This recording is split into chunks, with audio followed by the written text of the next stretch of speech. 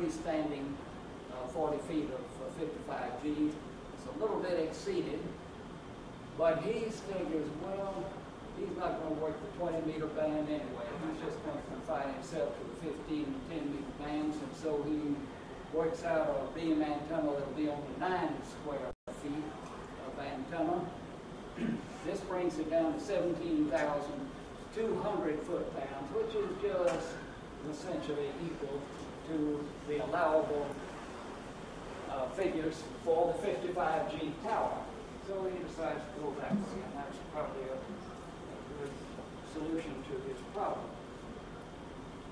To do that now, he must design himself a foundation block poured concrete that will hold that, that 55G tower, 40 feet high with a 9 square foot antenna on it.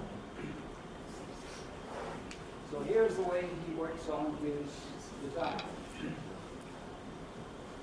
He decides he will take a four foot deep hole there and he will make the thing uh, block, poured concrete block 30 feet square. The volume of his concrete will be 3 times 3 times 4, or 36 square feet, 150 pounds per cube, I mean, uh, uh, cubic feet. 150 pounds per cubic foot gives us the block weight of 5,400 pounds.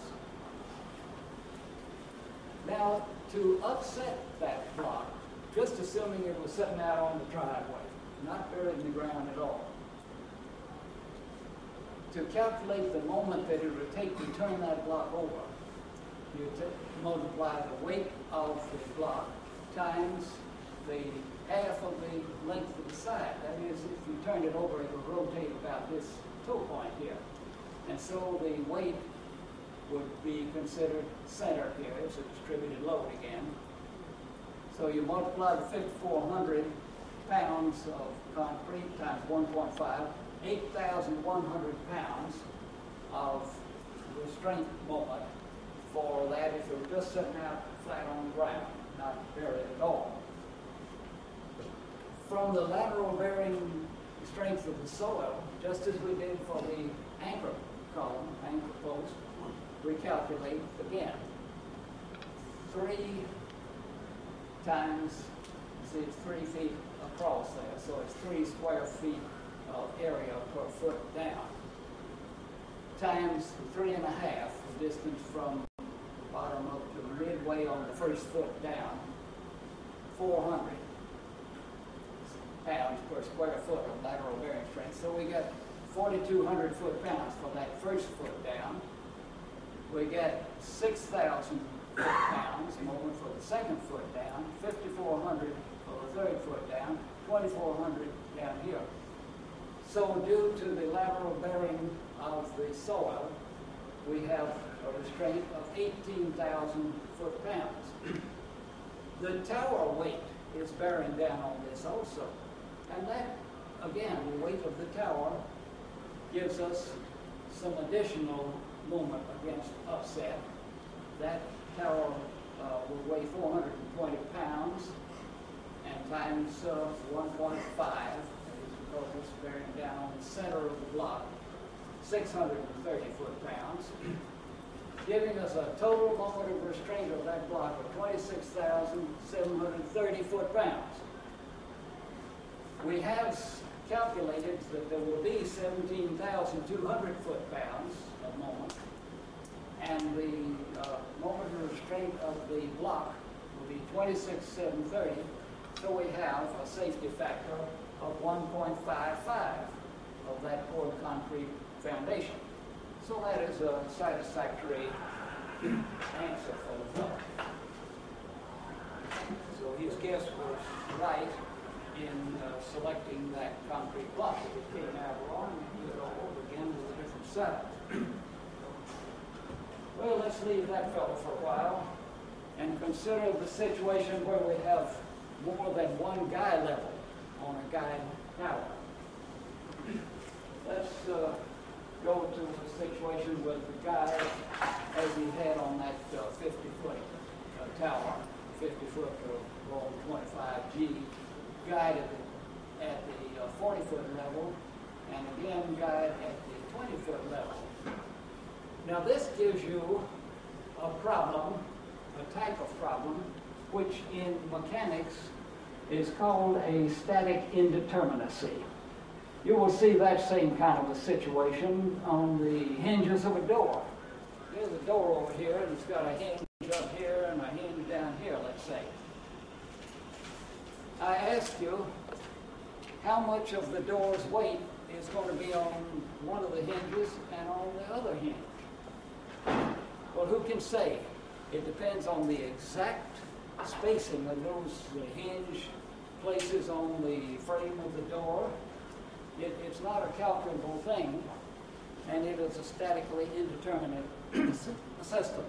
The only way you can approach it is if you knew the elasticity properties of the door and of the door frame, and the exact spacing. We don't try to calculate things like that. But on these guide cables, whereas you do have uh, uh, a, a static indeterminacy situation, you still can make a decision on how you're going to handle it, how you do it. And so here's a good way to do that. We'll say that the, uh, that we'll call this point up here, and this guy A, and this one B. The unguided base moment, again, would be this twenty-four thousand and sixty-two foot pounds that we calculated before, if you, if there is a concrete with no guides. The moment from the top guy would be forty feet times this guy's uh, horizontal thrust, the forty feet on the left. That on the lower guy would be twenty feet times its tension. And we'd say that those must resolve this uh, unguide base moment of twenty-four thousand sixty-two. Furthermore, we'll go ahead and say that A is twice B. Just, we'll make a, we'll just make an assumption that we're going to tension those guys such that it will be that way. That the tension up here is twice the tension on this one. That is not the guy tension, but the lateral restraining thrust of the guys. Working this out algebraically, then this tells us that if we say A is 2B, that this says 80B plus 20B is going to be the 20,062, which says 100B is 24,062, or B, the horizontal thrust of the lower guy, will be um, 240.62 pounds. There. A will be twice that. 481.24. So the total horizontal restraining forces here will be 721.86 pounds. Now you say, hey, what happens now? Because when we had only one guy up there at the 40 foot level, it was only 601 and a half pounds. And now you're telling me it's going to be 721.86. Why the difference? The difference is that by putting the lower set of guys on there, you relieve some of the horizontal thrust on the foundation. Before we put this one here, wind blowing in here was putting forces on here, and likewise, a certain amount of that force is trying to blow the thing off of the foundation, which it can't do anyway because it's a concrete block. It's not very maybe want to break that. but this way, some of the force that would otherwise go onto the foundation is uh, being resolved by the lower set of guides. And it has the advantage of reducing the bending moment in the lower part of the tower. So it is uh, uh, protected in that respect. But, uh, there are times when it's very favorable to have that. I just wanted to show you that there is a way of uh, determining that. What was the assumption of A was two B, what was that for? If you do not do that and make these equal, then there is not enough horizontal force up here, and it is going to increase the moment on the tower lower down, and it, and it may exceed the uh, allowable bending moment of the tower. It's just better to do that where it is twice as high up the tower to assume that you're going to tension those guys in such a way that you will have a large restraining force up here at the upper guy level. That answer the question? Any other questions about that before we go ahead?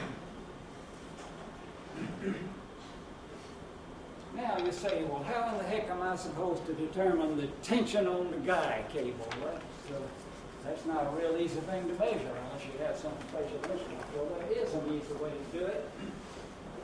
And the way you do it is you take hold of the guy and you start it swinging. Now, you swing it side to side, not up and down like I make it draw it this way.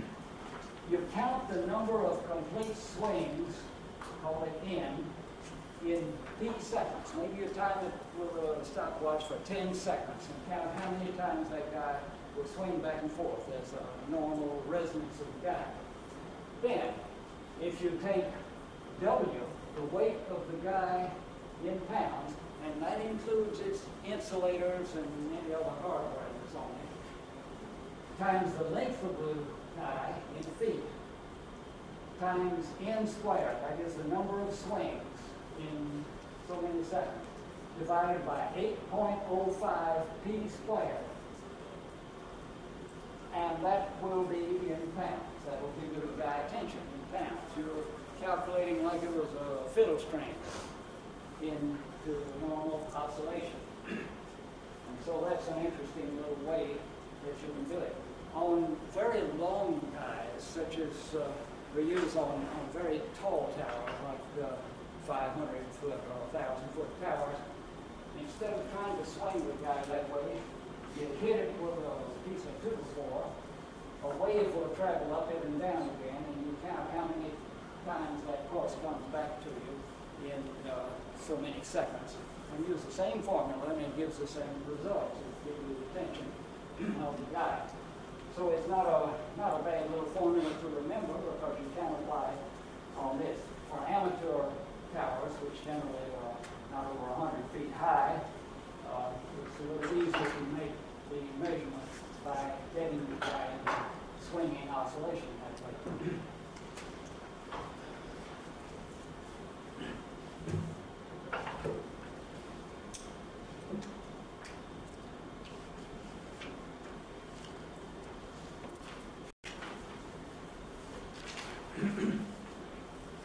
Now, sometimes, some of us amateurs like to use the tower itself as an antenna, rather than using it as a support for an antenna.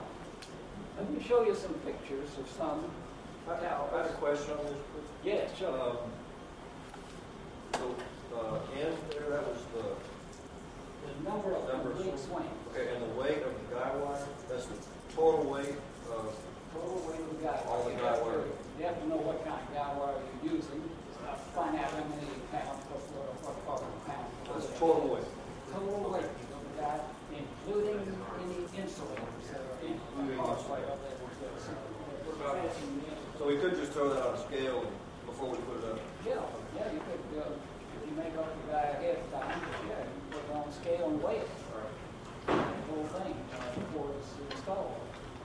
Uh, Because if you do your calculations right, you'll already know how long the guy's gonna have to be. You make up slight errors with the turnbuckle and anchor post. Um, Yeah, just as long as you get the weight of the guy, then, and you know the length of it. And you can apply this little formula then for swinging it and tell how tight you have it. Uh, no- Nominally, the uh, EIA specification says that you tension a guy, uh, pre-tension it up to, well, that is to provide the initial tension of it, to take out the kinks and sagginess. Ten percent of the ultimate strength of the guy cable. Now, if it is uh, three sixteenths EHS steel, that's that extra high strength steel, it has an ultimate strength of three thousand nine hundred and ninety pounds. meaning that your tension is to three hundred and ninety-nine pounds initially with no wind flow. Takes all the sag out of it essentially. Uh, if you're using quarter inch, if it's a higher tower and you use quarter inch, that is uh, about sixty-six hundred pounds uh, initial, uh, uh, ultimate strength. You tension that to uh, six hundred and sixty pounds to fall within EIA specification. Personally, I do not like to uh, draw up you guys quite that, that taut on an amateur tower. I I prefer to leave just a little bit of sag in it so that I don't have continuous uh, thrust against the anchor post in, in mild, light winds, Why it leaves the anchor post substantially unloaded and it's not as likely to pull it through the soil. Uh, If you make it uh, too loose, the, the thing will tend to gallop in, uh, in high winds, will flop up and down, you don't like it to do that. If you make it too taut, it will go into what's called aeolian uh, vibration, that is, it will start singing like a fiddle string, and uh, that's not a very good thing either because it may uh, work harden some of the structural parts, you know, it lead to fracture of parts that way. So you have to use your own judgment on that. You're not bound by any uh, adherence to the uh, EIA uh, standards on, on such a thing. But uh, it's just my preference not to tension between, not to uh, make initial tension as much as ten percent of breaking strength of the, of the guy cable. Uh, I'm starting to say that um, uh, some amateurs, many amateurs, including myself, uh, like to use um, the tower itself as a vertical antenna. Let me show you uh, a few pictures of some antenna installations that uh, are that way. Whit, Yes, uh, Ann says you need to speak up when you're next to the screen. okay. Whit is your wife of 51 years, may I ask you to stay closer to the microphone, your voice is getting lost back here. All right, fine. All right, I'll get up here to the microphone. I'll yield to higher authority back there from W5NHI. Uh, here is a picture of a uh, tower which is used as an antenna. Let me see if I can get this in a little bit focus.